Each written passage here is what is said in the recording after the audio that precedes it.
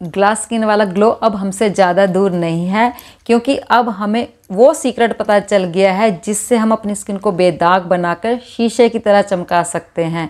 अपने चेहरे के कालेपन को दूर कर सकते हैं। अपने चेहरे के ऊपर अगर डार्क पैचेस हैं, उसको रिमूव करके स्किन को ब्राइट बना सकते हैं। अगर आप इसका रेगुलर इस्तेमाल करते हो तो ये आपकी स्किन को स्पॉटलेस फ्लोलेस तो बना रहा है। इसके साथ साथ आपके चेहरे के ऊपर एंटी एजिंग का भी काम कर रहा है। यानी कि ये आपकी स्किन की ढेरों प्रॉब्लम्स को सॉल्व करने के लिए अकेला ही सक्षम है। तो इस खूबसूरत सी रेमेडी को तैयार करने के लिए हमें करना क्या है? हमें अपने किचन में जाना है। इस रेमेडी को तैयार करने में जो मैंने इसमें इंग्रेडिएंट्स ऐड किए हैं, वो सभी के सभी, आप सभी के किचन में बहुत ही आसानी से मिल जाएँगे। आपको बाहर से कुछ भी परचेज नहीं करना।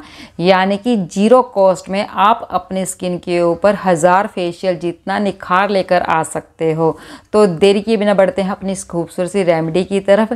इस रेमेडी को तैयार करने से पहले आपको अपना एक छोटा सा इंट्रो दे दूँ। मेरा नाम है सुनीता सैनी और इस चैनल का नाम है beauty with nature by Sunita Saini. आप सभी का आपके अपने चैनल पर बहुत बहुत स्वागत है। क्या हालचाल आप सबके? आई होप आप सब लोग खुश होंगे।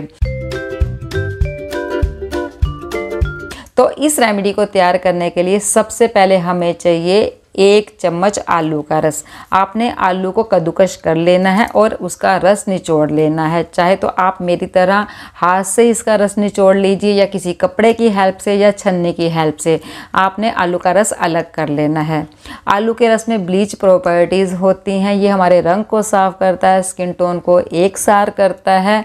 ये हमारी स्किन के ऊपर एंटी एजिंग का काम भी करता है। अब मैं इसमें ऐड करूँगी चौथाई चम्मच के करीब नींबू का रस। जिन लोगों को नींबू सूट करता है, वो यहाँ पर नींबू का रस ऐड करेंगे। जिनको नींबू सूट नहीं करता, वो नींबू के रस को स्किप कर दें। वो यहाँ पर नींबू के रस के जगह टमाटर का रस ले सकते हैं, क्योंकि टमाटर के रस में विटामिन सी भरपूर होता है। वो भी हमारे चेहरे के दाग धब्बों को लाइट करता है। और जिन लोगों को नींबू का रस सूट करता है, नींबू के रस में तो ब्लीच प्रॉपर्टीज़ हैं ही। ये हमारे चेहरे के कालेपन को, दाग धब्बों को दूर करके स्किन को स्पोर्टलेस फ्लोलेस बनाने में हमारी हेल्प करेगा। ठीक है जी?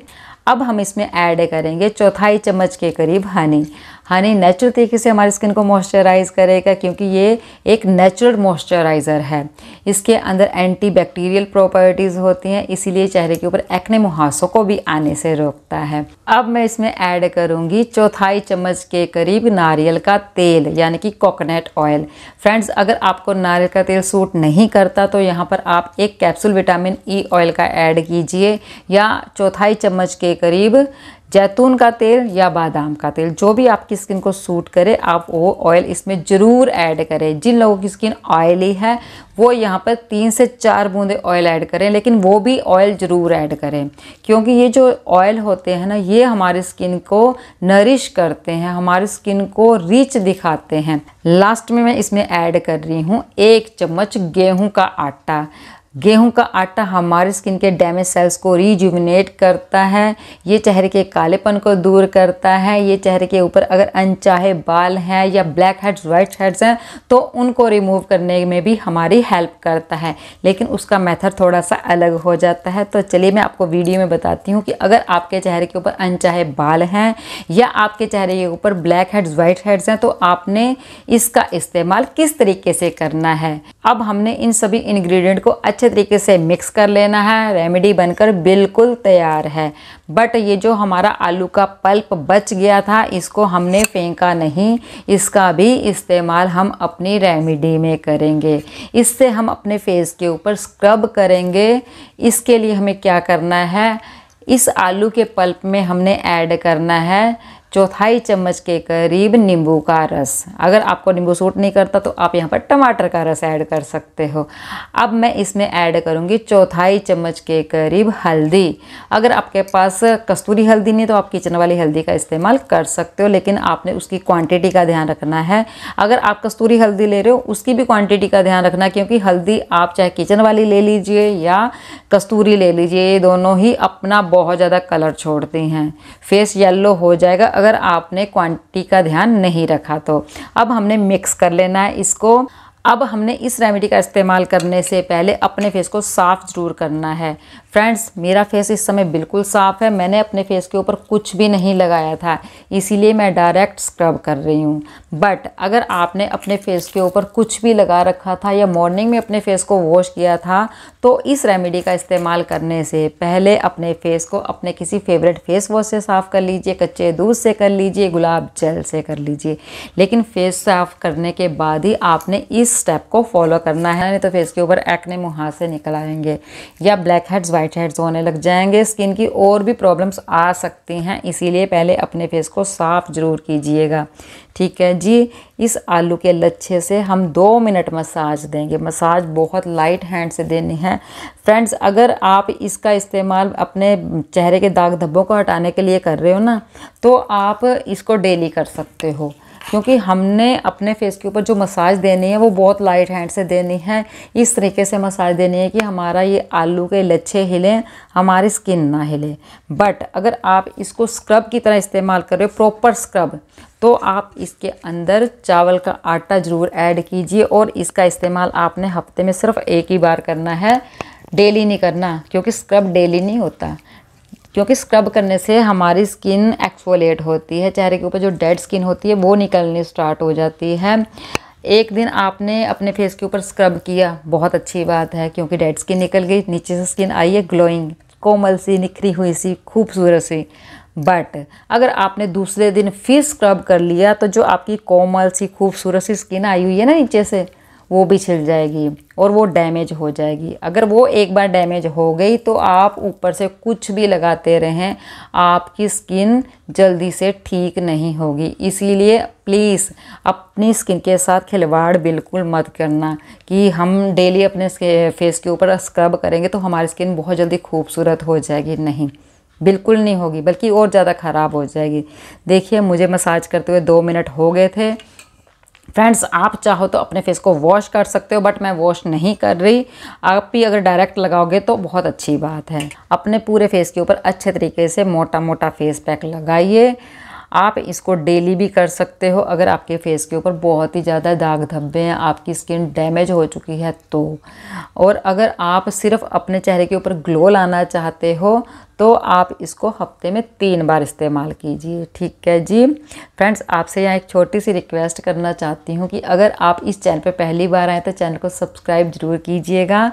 और अगर आपको वीडियो पसंद आती है तो प्लीज़ वीडियो को लाइक भी ज़रूर कीजिएगा और पास बने बेल आइकन को भी ज़रूर प्रेस कर लीजिएगा, ताकि जब मैं नई वीडियो डालूँ तो उसकी नोटिफिकेशन आपको बहुत ही आसानी से मिल जाए और आप ऐसी ही अच्छी अच्छी वीडियो का बेनिफिट उठा पाएँ। फ्रेंड्स, और ये भी बताना बिल्कुल ना भूलें कि आप किस सिटी से मेरी वीडियो देख रहे हो, बहुत ही अच्छा लगता है। फ्रेंड्स मैंने अभी आपको बता दिया है कि इस रेमेडी का इस्तेमाल हर स्किन टाइप के लोग कर सकते हैं। बस वो लोग इसका इस्तेमाल ना करें जिनको इसमें डाले गए किसी इंग्रेडिएंट से एलर्जी है। उनकी स्किन को नुकसान हो सकता है, वरना ये हर किसी की स्किन के ऊपर गजब के रिजल्ट्स लेकर आएगा। यूज़ ज़रूर कीजिएगा और अपनी फीडबैक भी ज़रूर दीजिएगा कि आपकी स्किन के ऊपर इसने कैसे रिज़ल्ट दिखाए हैं। देखिए फ्रेंड्स फेस पैक लग चुका है। अब मैं आपको मिलती हूँ दस मिनट के बाद। अगर आप इस फेस पैक को डेली लगा रहे हो तो 10 मिनट इनफ है बट अगर आप इस फेस पैक को हफ़्ते में तीन बार लगा रहे हो तो 15 से 20 मिनट आप इसको अपने फेस के ऊपर रख सकते हो, कोई दिक्कत वाली बात नहीं है। अब मैं आपको मिलती हूँ 10 मिनट के बाद। बहुत ही प्यारा रिज़ल्ट आता है फ्रेंड्स यूज़ ज़रूर करके देखिए और फीडबैक भी ज़रूर दीजिए। फ्रेंड्स हाँ मैं आपको एक बात बताना भूल गई कि अगर आपके चेहरे के ऊपर अनचाहे बाल हैं तो आपने इसको लगाने के बाद जब ये सेमी ड्राई हो जाएगा, उसके बाद आपने अपने फेस को रब करना है। तो आपने अपने फेस को रब करना है, देखिए इस तरीके से। अगर ब्लैक हेड्स वाइट हेड्स हैं तो आप नॉर्मल राउंड राउंड करते हुए रब कर लीजिए। आप रेगुलर अगर ऐसे करोगे तो आपके ब्लैक हेड्स बहुत ही जल्दी ख़त्म होने लग जाएँगे। और अगर आपके चेहरे के ऊपर अनचाहे बाल हैं तो आपने यहाँ से अपनी स्किन को पकड़ना है और अपवर्ड डायरेक्शन में इस तरीके से मसाज देनी है। इससे होगा ये कि आपके जो हेयर्स हैं वो इस रेमेडी में लिपटने स्टार्ट हो जाएँगे और धीरे धीरे वो झड़ने स्टार्ट हो जाएँगे, उतरने स्टार्ट हो जाएँगे। लेकिन आपको थोड़ा पेशेंस रखना पड़ेगा क्योंकि ये जो बाल होते हैं, ये कभी कोई टूट गया, कभी कोई टूट गया, इस तरीके से ख़त्म होंगे, सारे एकदम से ख़त्म नहीं होंगे। लेकिन ये है कि आप नेचुरल तरीके से अपने बालों को ख़त्म कर सकते हो। बट जिन लोगों के हार्ड बाल हैं, उनको और भी ज़्यादा टाइम लगेगा। ठीक है जी, अब मैं अपने फेस को वॉश करके आती हूँ और आपको दिखाती हूँ इसका फाइनल रिज़ल्ट इसको वॉश करने के बाद रिज़ल्ट देखिए स्किन कितनी ज़्यादा ब्राइट दिखाई दे रही है, कितनी ज़्यादा शाइन दिखाई दे रही होगी आपको मेरे चेहरे के ऊपर। अब हमने अपने फेस को मॉइस्चराइज़ करना है। अपने फेस को मॉइस्चराइज़ करने के लिए मैं अपनी बनाई क्रीम ले रही हूँ फ्रेंड्स अमेजिंग क्रीम है। अगर आपने इसको अभी नहीं बनाया तो जल्दी से बना लीजिए, ये एंटी एजिंग से भरपूर है। ये आपके चेहरे के ऊपर ग्लो भी लाएगी, आपके चेहरे को बूढ़ा होने से भी बचाएगी। इसके बहुत ही बहुत ही ज़्यादा अमेजिंग रिज़ल्ट हैं फ्रेंड्स यूज़ ज़रूर कीजिए। तो फीडबैक भी ज़रूर दीजिएगा कि आपकी स्किन के ऊपर इसने कैसे रिज़ल्ट दिखाए हैं। मेरी स्किन के ऊपर तो बहुत ही खूबसूरत रिज़ल्ट आए हैं। बहुत ही प्यारे, देख सकते हो आप।